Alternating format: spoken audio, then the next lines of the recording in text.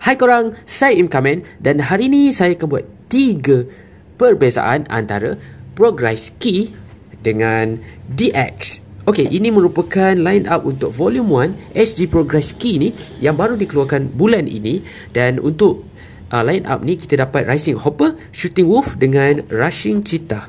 Okey, untuk tidak membuang masa mari kita buat perbezaan antara Candy Toy SG Progress Key dengan DX. Okey, kita dapat perhatikan di sini yang progress key didatangkan dengan kotak yang kecil seperti ini. Manakala DX kotak dia lebih besar dan ini didatangkan sekali dengan dia punya driver. Okey, kita buka sekarang. Jom tengok. Okay, seperti biasa selepas kita buka kotak tadi kita akan dapat perhatikan yang dalam ni ada sedikit uh, instruction tentang penggunaan uh, progress key ni dan seperti biasa lagi uh, untuk setiap karakter kita akan dapat gula-gula. Yeay, candy kali ni adalah berbentuk cover dan ni uh, lain sedap juga. Okay, ni adalah dia SG tadi didatangkan dengan stiker. Jadi kita perlu melekatkan stiker ini ke sini. Dan lepas kita buka Okay kita nampak sebiji macam DX. Ni DX dan ni uh, SG. Color dia memang lebih kurang pada pandangan mata saya, color dia lebih kurang betul-betul sama.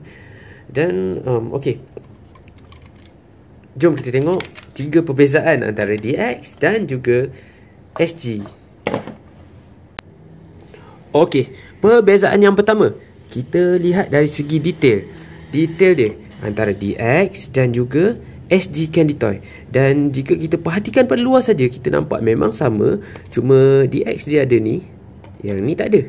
Dan pada belakang ni juga Kita dapat perhatikan dia sebenarnya lebih kurang sama. Color dia, skema color dia berbeza sedikit. Ok Kita buka. Ni DX DX dah siap tanpa stiker. Manakala SG Candy Toy. Kita akan nampak litar dia kat dalam Dan kita perlu menampalkan stiker yang diberikan. Cara tampal dia pun senang je. Alright, siap. Okay Dari stiker dia nampak lebih terang daripada yang DX Okay, jom kita tengok detail kedua. Okay dia, perbezaan yang kedua yang kita dapat perhatikan antara kedua-dua ni ialah bunyi. Bunyi yang dihasilkan oleh DX adalah seperti ini. Dan kita tekan di sini tau.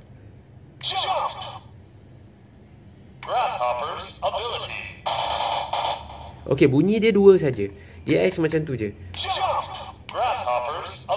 Manakala untuk SG kita tak boleh tekan di sini. Kita perlu tekan di sini. Untuk SG ni kita akan dapat 8 jenis bunyi. Kalau tak percaya kita boleh tengok dekat setiap kotak dia dia ada tunjukkan 8 jenis bunyi yang ada daripada uh, setiap satu candy toy ni.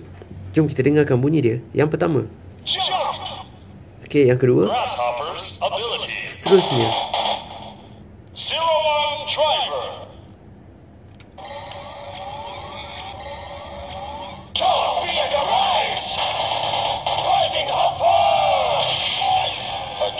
this guy turns to a rider kick. Shut riser!